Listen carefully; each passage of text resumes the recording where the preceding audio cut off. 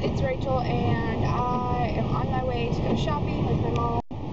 Hello. And yeah, so we're, we're going shopping, um, because I need to get some some summer and like springtime clothes, and I want to go to Mac and stuff. So we're stopping by Arby's first because I'm hungry and I haven't had lunch yet, and it's like two o'clock. So we're gonna get some lunch through the drive-through. So I'll just film whenever we get there. Okay, guys, so I got the number two, which is just the roast beef sandwich, and I put some ketchup on it.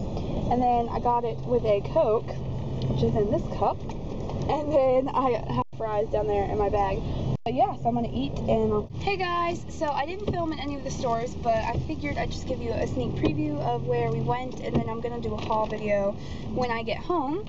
So I went to Gap, and then we went to Old Navy. Well, we actually went to Old Navy first, but anyways, went to Old Navy, and then I went to Mac, and then went to Ulta. So that's, I think, everywhere. We went, and yeah. So I will do a haul when I get home, but right now we are just on our way back home. So yeah, I guess I'm just going to end the vlog here, and I will see you guys next time. Bye.